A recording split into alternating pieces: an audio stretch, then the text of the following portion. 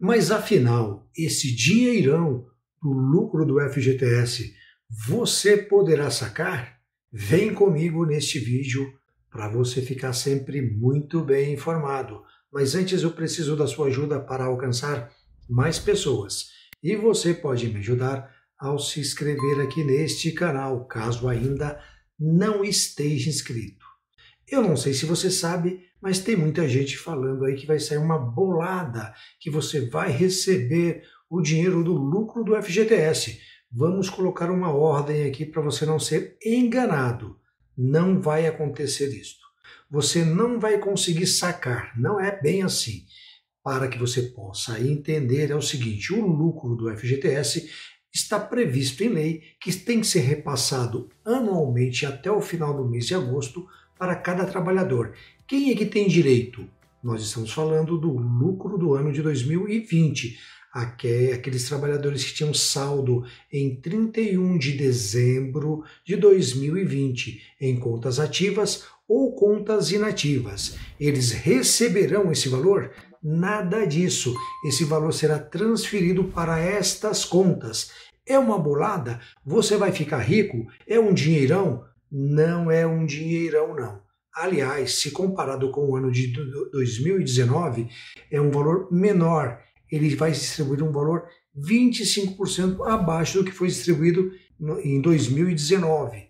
Então fique atento para não ser enganado com conteúdos que traz apenas uma informação na manchete, mas quando você vai perceber, não tem consistência.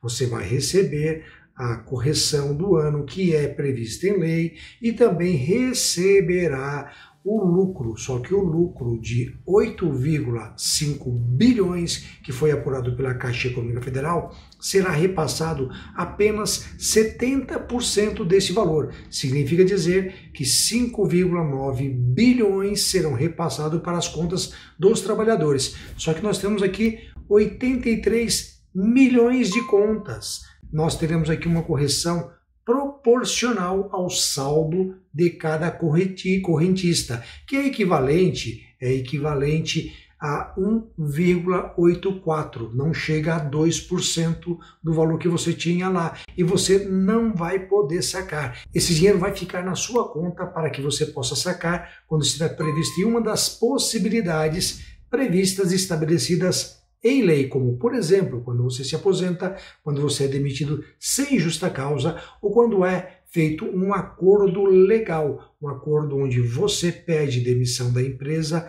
em acordo com o patrão e ele reduz o valor da multa que vai pagar para você, em vez de pagar 40%, paga 20% e você fica limitado a sacar o saldo de 80% lá do FGTS. Nas outras condições que nós temos é quando você tem um saque para quitar a casa própria ou no caso de doença, que não imagino que não seja favorável para você, não vamos recorrer a esta possibilidade, mas são as previsões que estão na lei para você sacar. Então fique atento, pois você não vai ter acesso a esse dinheiro. Não é uma bolada. Estão tentando enganar você. Você vai receber sim um acréscimo na sua conta para que as pessoas tenham saldo lá em 31 de dezembro de 2020. Fique atento com esta informação. Agora comenta aqui o que você achou deste conteúdo.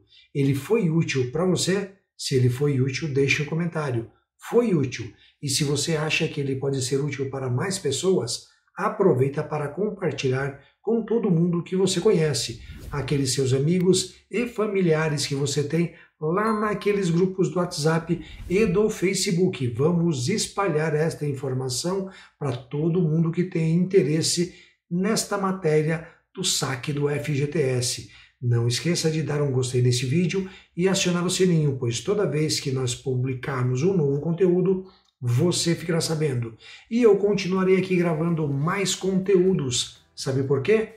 Porque eu quero te encontrar num próximo vídeo.